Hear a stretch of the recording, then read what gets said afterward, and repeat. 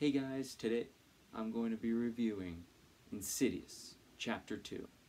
Insidious Chapter 2 starts off with the past in 1986, where we see young Josh and Elise and a, a former a partner of hers, Carl, try to help Josh with the new spirit he's been working with. We she goes upstairs, they play hot and cold, find out that the spirit is not welcoming, and that's when they decide to erase Josh's memories. And then it, we jump right back to where we were after Insidious Chapter 1 with Elise just being murdered by the Bride in Black, where Renai comes in and she's suspicious that Josh murdered her, but the report comes back negative that it was not Josh, but indeed, we you know it was the Bride in Black's hands that murdered her, and so they go to Lorraine, Josh's mother's house, and you know they spend a while there. Uh, things start to get a little paranormal again. So Renai starts seeing toys moving around, and she sees a woman in a white dress who slaps her and knocks her out. And after that, they decide, all right, get Elise here. Let's figure out what to do. And Elise sends them to the Angels, Angels something hospital. And so they go and they start to learn about the past of the bride in black and how the white woman connects. And yeah, so pretty much the story is about pretty much learning about the bride in black and how to get rid of the bride in black and that to do that they have to learn about the past of the bride in black. And we just go on a, an, you know an amazing adventure.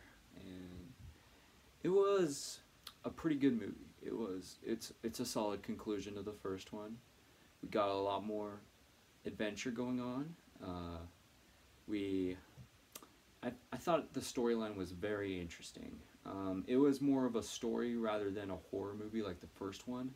It was but the story itself was creepy, if you know what I mean. Um, like, I felt like I got chills from how the story was in general, and there were some jump scares. Don't get me wrong. There was there was not as much as the first one though. They that you could tell they just they just wanted to focus on the story, and that was great. I mean, I feel like the story was really the important part of the movie, and it delivered. It was a pretty solid sequel. Uh, I enjoyed it. The characters were amazing. You you were interested in which char- all the characters because they split up. You were interested in all of their parts of the story, and you know we were I was in we you were intrigued in the Bride and Black's past once you find out about it, and we will discuss it in the spoiler talk. And overall, um, I'd probably give Insidious Chapter Two a we'll go with an 8.5 out of 10.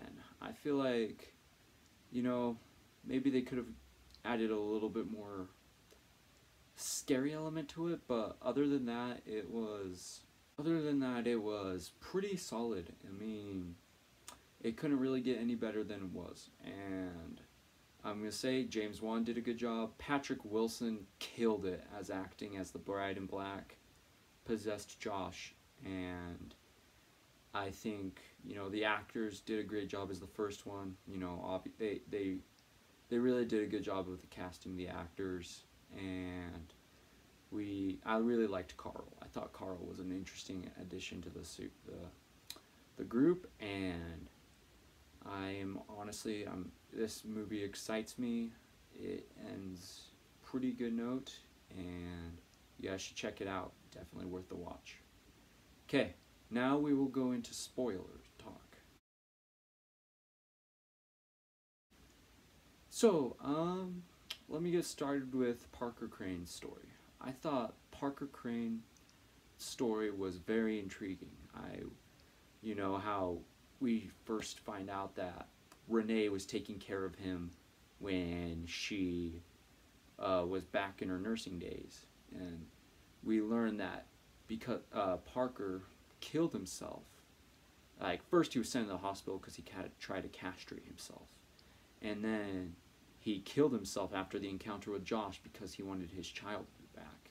And I thought that was very intriguing and a very good motivation because we later on learn on that the, the, the white dress was obviously his mother and she wanted him to be a girl pretty much. I mean, we don't really learn the background of why, but I mean, his father's not around and we could probably assume that she wanted a girl. She wanted a girl, and his father wanted probably wanted a guy, and then they argued, divorced. She took the child. Yeah. Um, so it was kind of interesting how that happened. Uh, I really liked the. I really liked the inter the.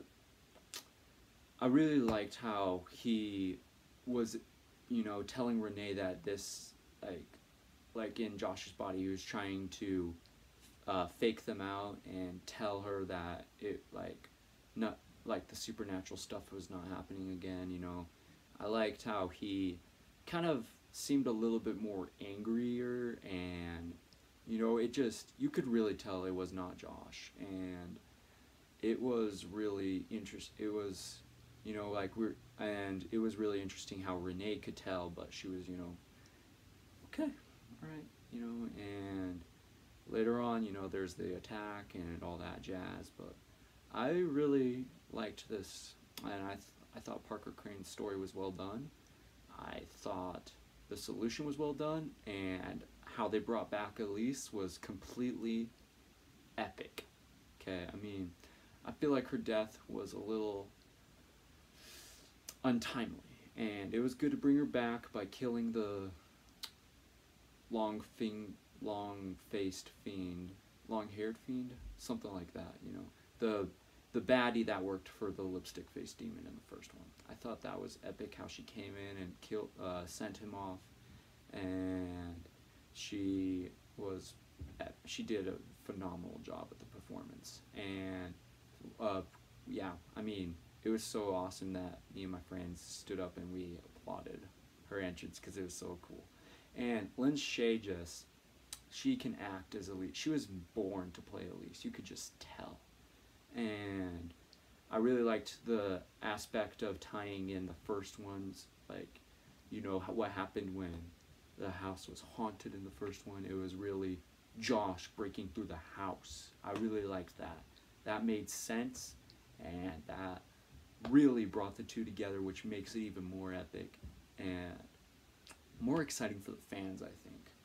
And I really liked, you know, I really liked this movie. It was definitely a solid sequel. I this this movie shows that the this movie the this series can have sequels, and it was pretty good. Um, I really liked the ending too, how they ended off on a cliffhanger. Uh, we heard the ca- cackling cackling sound like the lipstick faced demon. So I am assuming it's the lipstick faced demon, the red lipstick faced demon, excuse me, that we hear at the end. Uh, I really like, and I just like how realistic it was. I mean, I mean, like with the family, like you can argue, oh, it was so dumb they erased the memories, but I mean, I really thought it was like a smart idea. You know, just forget about this stuff, live a normal life, and I have a feeling we will see the family again. I mean, it's bound to happen. I mean, it was. I mean, you can't go wrong with Patrick Wilson as your your main star and Rose Byrne, and I really was. Yeah, sorry, I. I was very impressed. I'm trying to think of other favorite parts. I really liked the fight scene between Carl and Parker Crane. That was pretty epic. Uh, I really liked I really liked everything about this movie, honestly. I mean, it was. I mean, it, I mean, I feel like. I mean, I can't really think of anything. I just. I kind of feel like. The mother. I, I feel like the ending was a little kind of cheesy ish. How they just got rid of the mother and Parker Crane. At least make a big. I mean it was kind of a little cheesy at the end. That's that's what kind of lowered the rating for me. But other than that, I mean, the story was phenomenal and well done, and I hope they bring back Parker Crane at least. I mean, holy cow, he was scared. He was creepy. I mean, he wasn't as scary as the lipstick face demon, but he was creepy, interesting, and you know, I wouldn't mind if they brought him back later on. And yeah, that's my final thoughts. What did you guys think of this movie? Let me know down below.